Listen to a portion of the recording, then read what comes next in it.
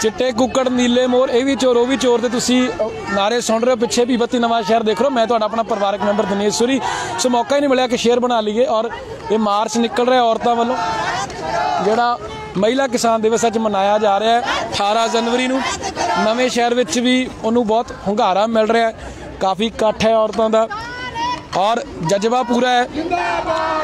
ਜਨੂਨ ਪੂਰਾ ਹੈ। ਆਪਣੇ ਹੱਕਾਂ ਲਈ ਬੜੇ ਤੀਬਰ ਨੇ।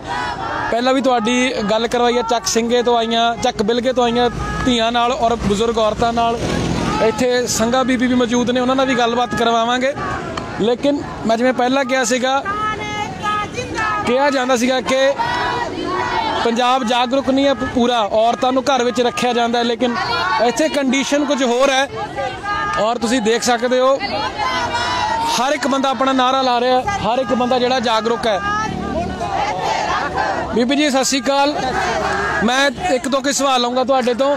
ਸਾਡੇ ਤੇ ਪਹਿਲਾਂ ਵੀ ਤੁਮਤ ਲੱਗਦੀ ਸੀ ਕਿ ਔਰਤਾਂ ਜਾਗਰੂਕ ਨਹੀਂ ਹੈ ਲੇਕਿਨ ਅੱਜ ਜੋ ਹਜੂਮ ਹੈ, ਅੱਜ ਜੋ ਇਕੱਠ ਹੈ, ਅੱਜ ਜਿਹੜਾ ਔਰਤਾਂ ਹੁਣ ਜਿਹੜੀ ਸ਼ਮੂਲੀਅਤ ਵੀ ਹੈ, ਇਸ- ਇਹਨਾਂ ਧਰਨਿਆਂ ਵਿੱਚ, ਇਸ ਕਿਸਾਨੀ ਅੰਦੋਲਨ ਵਿੱਚ, ਉਹ ਆਪਣੇ ਆਪ ਵਿੱਚ ਬਹੁਤ ਨੇਕ ਹੈ ਔਰ ਬੜੀ ਸ਼ਲਾਘਾਯੋਗ ਹੈ। ਕੀ ਕਹੋਗੇ, ਕੀ ਦਿਲਾਂ ਦੇ ਜਜ਼ਬਾਤ ਕੀ ਨੇ ਸਾਡੀਆਂ, ਜਿੰਨੀਆਂ ਵੀ ਔਰਤਾਂ ਨੇ? ਹਾਂਜੀ।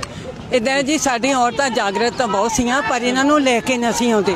ਜਾਂ ਪਿੰਡਾਂ ਦੇ ਵਿੱਚ ਮੀਟਿੰਗਾਂ ਹੋਈਆਂ, ਅਸੀਂ ਔਰਤਾਂ ਨੇ ਵੀ ਕਰਾਈਆਂ ਤਾਂ ਬੰਦਿਆਂ ਨੇ ਵੀ ਕਰਾਈਆਂ, ਅੱਜ ਤੁਸੀਂ ਦੇਖ ਲਓ, ਉਹਨਾਂ ਮੀਟਿੰਗਾਂ ਦਾ ਇਹੀ ਸਿੱਟਾ ਆ, ਉਹ ਔਰਤਾਂ ਅੱਜ ਕਿੱਡੀ ਵੱਡੀ ਪੱਧਰ ਤੇ ਆਈਆਂ, ਉਹ ਸਮਝਦੀਆਂ ਆ ਕਿ ਜਿਹੜੀ ਸਮੱਸਿਆ ਸਾਡੇ ਸਮਾਜ ਤੇ ਆ, ਕਿਸਾਨਾਂ ਦੀ, ਕੱਲਿਆਂ ਦੀ ਜ਼ਮੀਨ ਨਹੀਂ ਇਹ ਚ ਮਜ਼ਦੂਰ ਵਰ ਗਿਆ। ਅਸੀਂ ਸਾਰੀ ਜਿਹੜੀ ਸੁਸਾਇਟੀ ਆ, ਅਸੀਂ ਮਾਰੀ ਜਾਵਾਂਗੇ ਜੇ ਸਾਡੀ ਜ਼ਮੀਨ ਚੱਲ ਜਾਂਦੀ ਆ। ਸਾਰੀ ਸਾਡੀ ਜਿਹੜੀ ਆ ਜਨਤਕ ਵੰਡ ਪ੍ਰਣਾਲੀ ਖਤਮ ਹੋ ਜਾਣੀ ਆ। ਅਡਾਨੀ ਵਾਨੀ ਆਪਣੇ ਕਦਾਮਾਂ ਵਿੱਚ ਮੰਡੀਆਂ ਚੋਂ ਸਾਰਾ ਖਰੀਦ ਕੇ ਫੇਰ ਭਾਵੇਂ ਸਾਨੂੰ 200 ਰੁਪਏ ਕਿਲੋ ਆਟਾ ਦੇਣ ਇਹ ਨਹੀਂ ਸਾਨੂੰ ਕੱਖ ਨਹੀਂ ਦੇਣਾ ਸਾਨੂੰ ਭੁੱਖ ਨਾਲ ਮਾਰ ਦੇਣਗੇ। ਸਰਕਾਰਾਂ ਜਿਹੜੀਆਂ ਇਕੱਠਾ ਕਰਦੀਆਂ ਆ ਉਹ ਸਰਕਾਰ ਦਾ ਫਰਜ਼ ਆ ਮੰਡੀਆਂ ਚੋਂ ਨਾਜ਼ਲ ਜਾਵੇ ਜੇ ਹੜ ਆਉਂਦੇ ਆ ਕਿਸੇ ਵੇਲੇ ਕਿਸੇ ਵੇਲੇ ਜਿਹੜੀ ਕੋਈ ਚੀਜ਼ ਆ ਉਹ ਨਹੀਂ ਹੁੰਦੀ ਖੇਤਾਂ ਦੇ ਵਿੱਚ ਇਹ ਕਿਹੜੀ ਫੈਕਟਰੀ ਆ? ਇੱਕਦਮ ਚੀਜ਼ਾਂ ਬਣਾ ਲੈਣੀਆਂ। ਇਹ ਤਾਂ ਚੌਂ ਪੰਜੀ ਮਹੀਨੇ ਫਸਲ ਆਉਣੀ ਆ ਸੋ ਇਹ ਸਰਕਾਰ ਦਾ ਫਰਜ਼ ਆ ਵੀ ਉਹ ਕਿਸਾਨਾਂ ਦੀ ਸਾਰੀ ਫਸਲ ਖਰੀਦੇ ਉਹ ਭੰਡਾਰ ਕਰੇ ਤੇ ਲੋਕਾਂ ਨੂੰ ਉਹ ਵੰਡੇ।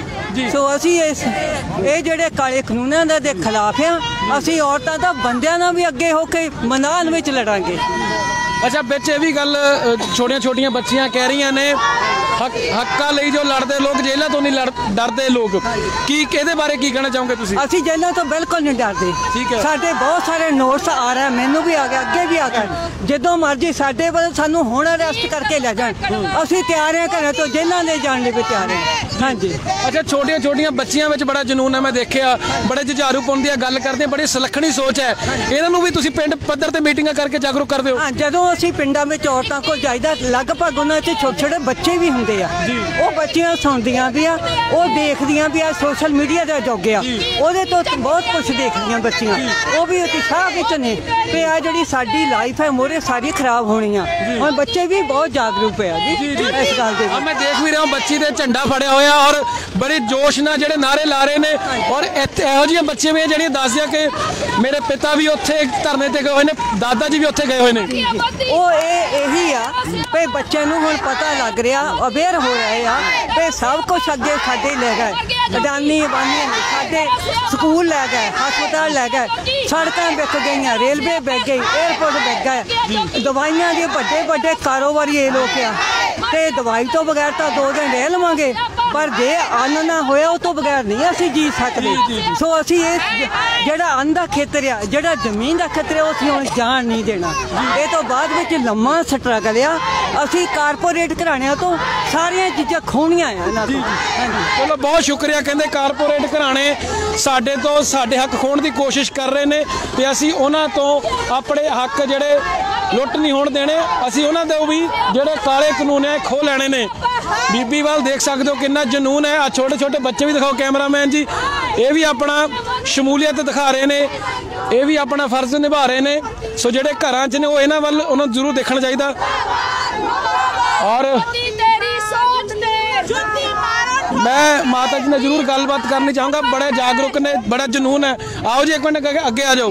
ਕਿੱਥੋਂ ਆਏ ਹੋ ਜੀ ਤੁਸੀਂ? ਅਸੀਂ ਆਪਾਂ ਲੋਕਲ ਹੀ ਹਾਂ ਜੀ। ਜੀ ਬੜਾ ਤੁਸੀਂ ਨਾਰੇ ਜਨੂਨ ਬਹੁਤ ਭਰ ਰਹੇ ਜਨੂਨ ਬੜਾ ਤੁਹਾਡੇ ਚ ਔਰ ਲੋਕਾਂ 'ਚ ਬੜਾ ਜੋਸ਼ ਭਰ ਰਹੇ ਹੋ। ਕੀ ਕਾਰਨ ਕੀ ਹੈ? ਅਸੀਂ ਜੀ ਦੇਖੋ ਜੀ ਸਾਡੀ ਸਾਡੇ ਕਾਨੂੰਨ ਰੱਦ ਕਰ ਦੇਵੇ। ਸਾਡੀ ਕੌਮ ਜਿਹੜੀ ਹੈ ਹੈ ਹੀ ਜੋਸ਼ ਵਾਲੀ ਕੌਮ ਆ। ਤੇ ਅਸੀਂ ਇਸ ਕਰਕੇ ਜੀ। ਜੀ। ਜੀ ਜੀ ਜੀ। ਆ ਸਾਡੀ ਜਿਹੜੀ ਕੌਮ ਆ ਬੜੀ ਜੋਸ਼ ਵਾਲੀ ਕੌਮ ਆ। ਅਸੀਂ ਇਹ ਸਾਰੇ ਕਾਲੇ ਕਾਨੂੰਨ ਰੱਦ ਕਰਵਾ ਕੇ ਜਾਣੇ ਆ। ਇਸ ਕਰਕੇ ਸਾਰੇ ਜਣੇ ਅਸੀਂ ਇਹ ਪੂਰਾ ਸਾਡਾ ਜ਼ੋਰ ਲੱਗਾ ਆ ਕਿ ਅਸੀਂ ਇਹ ਕਾਨੂੰਨ ਸਾਰੇ ਰੱਦ ਕਰਵਾਣੇ ਆ। ਸਾਰੇ ਜਿਹੜੀਆਂ ਹੋਰ ਬਾਕੀ ਬੀਬੀਆਂ ਉਹਨਾਂ ਦਾ ਕੀ ਕਹਿਣਾ ਜੀ? ਸਾਰੀਆਂ ਬੀਬੀਆਂ ਇਸੇ ਕਰਕੇ ਘਰਾਂ ਚੋਂ ਬਾਹਰ ਨਿਕਲੀਆਂ ਆ ਕਿ ਅਸੀਂ ਕਾਨੂੰਨ ਰੱਦ ਕਰਾਉਣੇ ਆ। ਜੇ ਸਾਡੇ ਕੋਲ ਸਾਡੀ ਜ਼ਮੀਨ ਹੀ ਨਾ ਰਹੀ ਤਾਂ ਸਾਡੇ ਕੋਲ ਬਾਕੀ ਰਹਿ ਕੀ ਗਿਆ। 26 ਨੂੰ ਦਿੱਲੀ ਜਾਣ ਦੀ ਤਿਆਰੀ ਹੈ ਜੀ? ਹਾਂਜੀ ਹਾਂਜੀ ਜੀ ਪੂਰੀ ਤਿਆਰੀ। ਅਸੀਂ ਘਰ ਤੇ ਘਰ ਜਾ ਜਾ ਕੇ ਇੱਕ ਇੱਕ ਬੰਦਾ ਕੱਢ ਕੇ ਇੱਕ ਇੱਕ ਜਨਾਨੀ ਬੱਚੇ ਸਾਰੇ ਕੱਢ ਕੇ ਲਿਆ ਰਹੇ ਆ। ਇਹ ਅਸੀਂ 23 ਤਰੀਕ ਨੂੰ ਪੂਰਾ ਮੋਰਚਾ ਫਤਿਹ ਕਰਨ ਜਾਣਾ। ਅਮਿਤ ਸ਼ਾਹ ਦਾ ਇੱਕ ਹੋਰ ਬਿਆਨ ਹੈ ਉਹ ਕਹਿੰਦਾ ਅਸੀਂ ਤਾਂ ਇਹਨਾਂ ਦੀ ਇਨਕਮ ਦੁੱਗਣੀ ਕਰਨੇ ਗੁੰਮਰਾਹ ਹੋ ਗਏ ਆ। ਬਿਲਕੁਲ ਇਹ ਝੂਠ ਗੱਲ ਆ ਸਾਨੂੰ ਬਹੁਤ ਸਾਨੂੰ ਪਹਿਲਾਂ ਬਹੁਤ ਇਹਨਾਂ ਨੇ ਇਦਾਂ ਦੇ ਝੂਠੇ ਦਿਲਾਸੇ ਦਿੱਤੇ ਸੀਗੇ। ਹੁਣ ਅਸੀਂ ਇਹਨਾਂ ਨੇ ਗੱਲਾਂ ਦੇ ਵਿੱਚ ਨਹੀਂ ਆਣਾ ਹੁਣ ਸਾਰੇ ਬੱਚੇ ਪੜ੍ਹੇ ਲਿਖੇ ਅੱਜ ਕੱਲ ਅਸੀਂ ਇਸ ਕਰਕੇ ਆਪਣੇ ਦਿਮਾਗ ਤੋਂ ਅਸੀਂ ਇੱਕ ਲਾਸਟ ਸਵਾਲ। ਸਾਰੇ ਆਪਣੇ ਆਪ ਆਇਓ ਕਿ ਫੋਰਸਫੁਲੀ ਲਿਆਂਦਾ? ਕੋਈ ਇਦਾਂ ਤਾਂ ਨਹੀਂ ਹੈਗਾ? ਨਹੀਂ ਅਸੀਂ ਆਪਣੇ ਆਪ ਆਏ ਆ ਅਸੀਂ ਆਪਣੇ ਆਪ ਆਏ ਆ। ਬਹੁਤ ਸ਼ੁਕਰੀਆ ਉਹ ਕਹਿੰਦੇ ਹੁਣ ਗੱਲਾਂ 'ਚ ਨਹੀਂ ਆਉਣਾ। ਕੋਈ ਕਿਸੇ ਦੀ ਗੱਲਾਂ 'ਚ ਨਹੀਂ ਆਇਆ। ਆਪਾਂ ਆਪਣੇ ਹੱਕਾਂ ਲਈ ਆਪ ਆਏ ਆ ਔਰ ਆਪਣੇ ਹੱਕਾਂ ਲਈ ਆਉਂਦੇ ਵੀ ਰਵਾਂਗੇ। ਡਿਮਾਂਡ ਇਹੀ ਹੈ ਇਹ ਇਹ ਵੈਸੇ ਬਹੁਤ ਚੰਗੀ ਗੱਲ ਹੈ, ਬਹੁਤ ਚੰਗੀ ਗੱਲ ਹੈ। ਬਾਰ-ਬਾਰ ਸਾਡੇ ਤੇ ਕਿ ਵੀ ਲਾਂਛਣ ਲੱਗਦਾ ਸੀ, ਇਹ ਵੀ ਕਲੰਕ ਲੱਗਦਾ ਸੀ ਕਿ ਪੰਜਾਬ ਸੂਬੇ ਵਿੱਚ ਔਰਤਾਂ ਨੂੰ ਬਾਹਰ ਨਹੀਂ ਆਣ ਦਿੱਤਾ ਜਾਂਦਾ।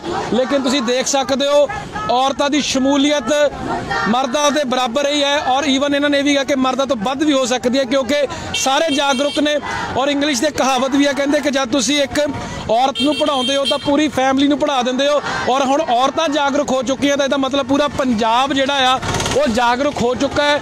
ਸੋ ਮੋਦੀ ਸਾਹਿਬ ਨੂੰ ਫਿਰ ਤੋਂ ਬੇਨਤੀ ਆ ਕਿ ਬੜੀਆਂ ਸ਼ਹਾਦਤਾਂ ਹੋ ਰਹੀਆਂ ਨੇ। ਹਰ ਰੋਜ਼ ਸਾਡੇ ਦੋ ਤੋਂ ਤਿੰਨ ਜਿਹੜੇ ਯੋਧੇ ਨੇ ਉਹ ਸ਼ਹੀਦ ਹੋ ਜਾਂਦੇ ਨੇ। ਸੋ ਇਹਨਾਂ ਕਾਲੇ ਕਾਨੂੰਨਾਂ ਨੂੰ ਜ਼ਰੂਰ ਵਾਪਸ ਕੀਤਾ ਜਾਣਾ ਚਾਹੀਦਾ ਤਾਂ ਜੋ ਪੰਜਾਬ ਵਿੱਚ ਅਮਨ, ਸ਼ਾਂਤੀ, ਬਰਕਰਾਰ ਰਵੇ ਔਰ ਜਿਹੜੀਆਂ ਇਹ ਹਰ ਰੋਜ਼ ਮੌਤਾਂ ਹੋ ਰਹੀਆਂ ਉਹ ਤੇ ਰੋਕ ਲੱਗ ਜਾਵੇ। ਸੋ ਬੇਨਤੀ ਇੰਨੀ ਹੈ ਜੀ ਕਿ ਕਾਲੇ ਕਾਨੂੰਨ ਜਿਹੜੇ ਜ਼ਰੂਰ ਵਾਪਸ ਹੋਣੇ ਚਾਹੀਦੇ, ਕਿਉਂਕਿ ਅਗਰ ਅਮੈਂਡਮੈਂਟ ਦੀ ਗੱਲ ਕਰੀਏ, ਤਾਂ ਅਮੈਂਡਮੈਂਟ ਵਿੱਚ ਆਪਣੇ ਤੌਰ ਤੇ ਉਹਦੀ ਡੈਫੀਨੇਸ਼ਨ ਇੰਗਲਿਸ਼ ਵਿੱਚ ਇਹੀ ਆ ਕਿ ਸਲਾਈਟਲੀ ਚੇਂਜ ਜਾਂ ਬੜਾ ਮਾਈਨਿਊਟ ਜਾਂ ਚੇਂਜ ਕੀਤਾ ਜਾਵੇ। ਸੋ ਇਹ ਉਹੀ ਕਹਿ ਰਹੇ ਨੇ ਕਿ ਸਾਨੂੰ ਰਿਟਨ ਵਿੱਚ ਮਾਈਨਿਊਟ ਚੇਂਜ ਨਹੀਂ ਚਾਹੀਦਾ। ਆਪਾਂ ਕਾਲੇ ਕਾਨੂੰਨ ਰੱਦ ਕਰਾਉਣਾ ਚਾਹੁੰਦੇ ਹਾਂ ਰਿਪੀਲ ਕਰਾਉਣਾ ਚਾਹੁੰਦੇ ਹਾਂ ਇਰਾਡੀਕੇਟ ਕਰਾਉਣਾ ਚਾਹੁੰਦੇ ਹੋ। ਸੋ ਇਸ ਪੇਸ਼ਕਸ਼ ਵਿੱਚ ਇੰਨਾ ਹੀ ਵਾਕਈ ਤੁਸੀਂ ਦੇਖ ਸਕਦੇ ਹੋ, ਇਹ ਔਰਤਾਂ ਦਾ ਇਕੱਠ ਔਰ ਜਿਵੇਂ ਇਹਨਾਂ ਨਾਲ ਪਹਿਲਾਂ ਵੀ ਗੱਲ ਕੀਤੀ ਆ ਕਿ ਸਾਰੇ ਆਪਣੇ ਆਪ ਆਏ ਨੇ ਕਿਉਂਕਿ ਸਾਰੇ ਜਾਗਰੂਕ ਨੇ, ਸਾਰੇ ਆਪਣੇ ਹੱਕ ਲੈਣਾ ਚਾਹੁੰਦੇ ਨੇ। ਪਰਿਵਾਰ ਵਿੱਚ ਜਿੰਨੇ ਵੀ ਮੇਲਸ ਨੇ, ਉਹ ਦਿੱਲੀ ਵੱਲ ਜਾ ਚੁੱਕੇ ਨੇ, ਇਹ ਵੀ ਜਾਣਾ ਚਾਹੁੰਦੇ ਨੇ ਔਰ 26 ਤਰੀਕ ਤੱਕ ਇਹਨਾਂ ਨੇ ਕਿਹਾ ਕਿ ਅਸੀਂ ਵੀ ਉੱਥੇ ਪਹੁੰਚਾਂਗੇ ਔਰ ਅਸੀਂ ਤਿਰੰਗੇ ਦਾ ਵੀ ਸਨਮਾਨ ਕਰਦੇ ਹਾਂ। ਭਾਰਤ ਦੇ ਜਿਹੜੇ ਪੀਐਮ ਉਹਦਾ ਵੀ ਸਤਿਕਾਰ ਕਰਦੇ। ਲੇਕਿਨ ਅਸੀਂ ਇਹ ਕਾਲੇ ਕਾਨੂੰਨ ਰੱਦ ਕਰਵਾਉਣਾ ਚਾਹੁੰਦੇ ਕਿਉਂਕਿ ਇਹ ਸਾਡੇ ਤੋਂ ਸਾਡੇ ਹੱਕ ਖੋ ਕੇ ਲੈ ਜਾਣਗੇ ਔਰ ਸਾਡੇ ਬੱਚੇ ਨੂੰ ਦਿਹਾੜੀ ਕਰਨ ਤੇ ਮਜਬੂਰ ਕਰ ਦਿੱਤਾ ਜਾਵੇਗਾ। ਸੋ ਇਸ ਪੇਸ਼ ਵਿੱਚ ਤਾਂ ਨਹੀਂ, ਆਪਣੇ ਛੋਟੇ ਵੀਰ ਦਿਨੇਸ਼ ਸੂਰੀ, ਕੈਮਰਾ ਪਰਸਨ ਵਿਜੇ ਕੁਮਾਰ ਨੂੰ ਆਈਟੀਆਈ ਦੇ ਸਾਹਮਣੇ ਲੱਗੇ ਹੋਏ ਧਰਨੇ ਤੋਂ ਇਜਾਜ਼ਤ ਦਿਓ, ਪਰ ਇਹਨਾਂ ਦੀਆਂ ਮੰਗਾਂ ਬਹੁਤ ਜਾਇਜ਼ ਨੇ। ਸਰਕਾਰ ਨੂੰ ਜ਼ਰੂਰ ਇਹਨਾਂ ਨੂੰ ਸੋਚਣਾ ਵੀ ਚਾਹੀਦਾ, ਇਹਨਾਂ ਨੂੰ ਸੋਧ ਨਹੀਂ, ਇਹਨਾਂ ਨੂੰ ਕੈਂਸਲ ਹੀ ਕਰਨਾ ਚਾਹੀਦਾ। ਸ਼ੁਕਰੀਆ।